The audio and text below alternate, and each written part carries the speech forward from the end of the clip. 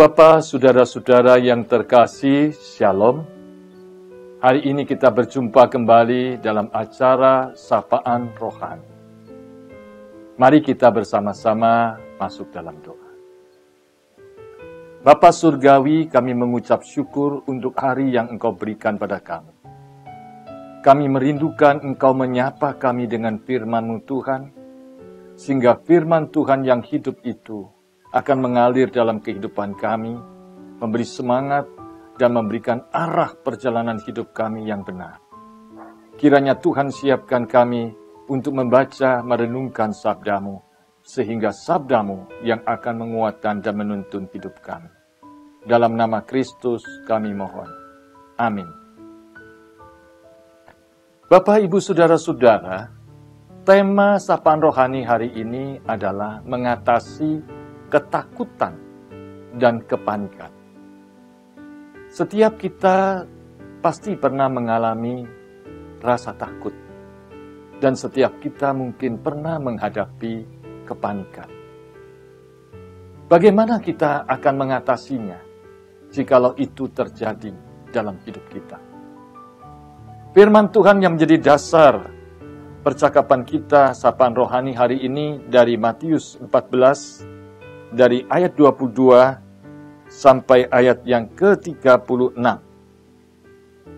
Di dalam perikop ini kita diajak untuk melihat sebuah pengalaman hidup dari murid-murid yang mau mengajarkan kepada kita bahwa badai kehidupan itu bisa terjadi setiap saat di situasi kondisi yang tidak pernah terduga dan bisa terjadi kepada siapa.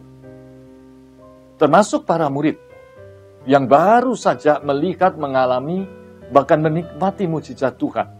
Bagaimana Tuhan Yesus memberikan makan pada ribuan orang melalui lima roti dan dua ikan.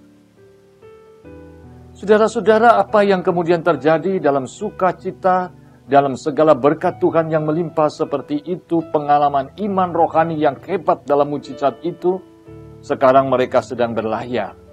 Dan kemudian yang terjadi adalah badai topan yang mereka alami.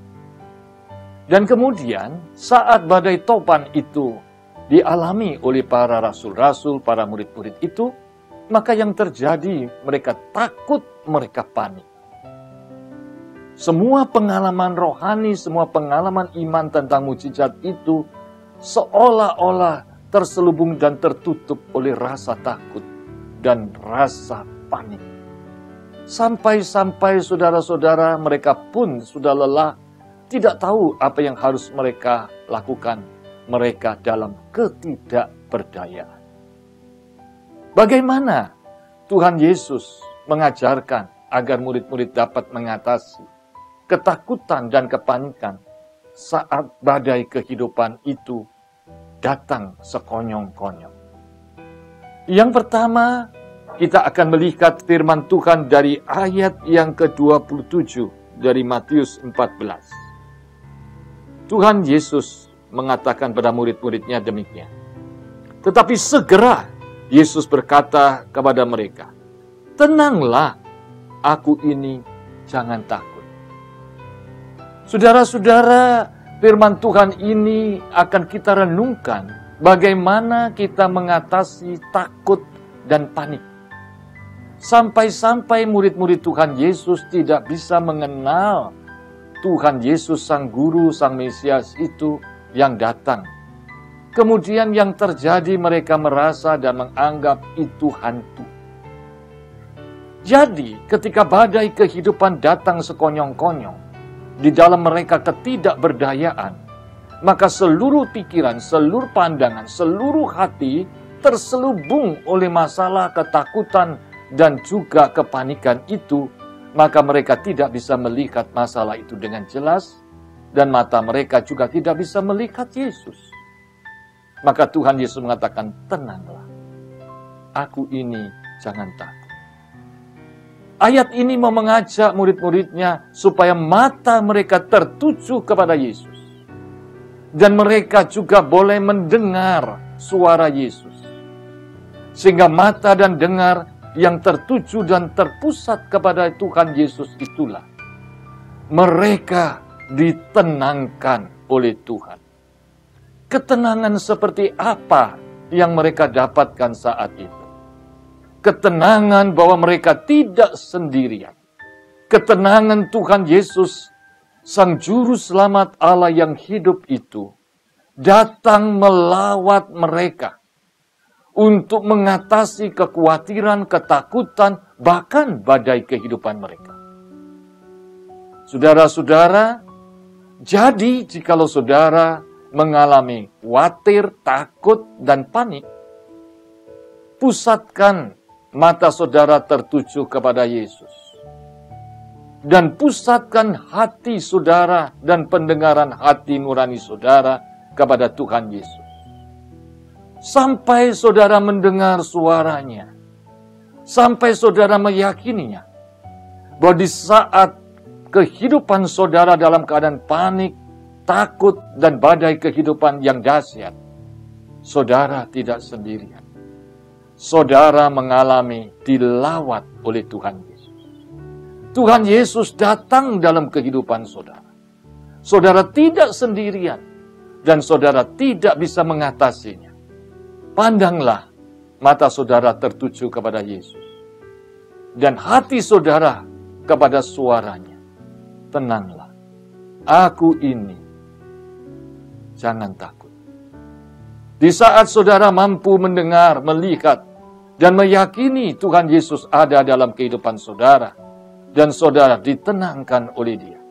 Maka saudara juga yakin, dia datang untuk melawat saudara, untuk menyelesaikan persoalan saudara dengan cara dia di dalam waktu dia. Dan itu yang terjadi pada para murid. Dengan cara dia berjalan di atas air, dengan cara dia meneduhkan angin dan ombak, dengan cara dia datang pada waktu yang tepat, yaitu pukul tiga, yang menurut keyakinan orang-orang Yahudi, saat itu adalah banyak roh-roh jahat yang datang untuk mengganggu di dalam perjalanan, di dalam perjalanan perairan di danau itu. Saudara-saudara, biarlah pada pagi ini kita ingat satu ayat saat saudara takut dan panik.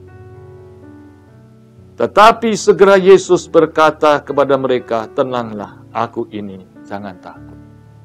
Saudara, tidak dengan kekuatanmu, engkau bisa menyelesaikan.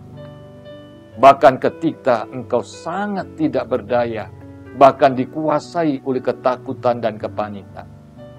Arahkan mata saudara, mata hati saudara, telinga saudara, telinga hati saudara terpusat kepada Tuhan Yesus. Rasakan perlawatan kehadirannya.